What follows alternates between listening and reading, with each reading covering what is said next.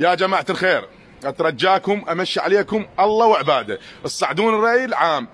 اليوم شفنا وزير الداخلية صرح تصريحات أنه يفتح الحدود وبدون فيزا ويا إيران. في حين اليوم إيران جاي تعلن عن إصابات المرض هذا كورونا اللي ما له علاج واللي حدث ما حرج واللي هي اباده جماعية. فهذا المقطع الفيديو أريد يوصل وزير الداخلية. إجراءاتك غلط واكس بالجاف وما حد يحترمها لأن هذا إجراء مو صحيح. ولا بمصلحة عامة. فعليه تسد الرحلات اللي ويا إيران وتشفونا شر المشاكل. لا خلاف هذا الحكي. توصل للفنك فنك لا عمي. نطلع للمطار ونسد الرحلات ويا إيران. هاي سالفة ما يقبلها لا الصاحي ولا المسودن. وصلوها مشي عليكم الله وعباده.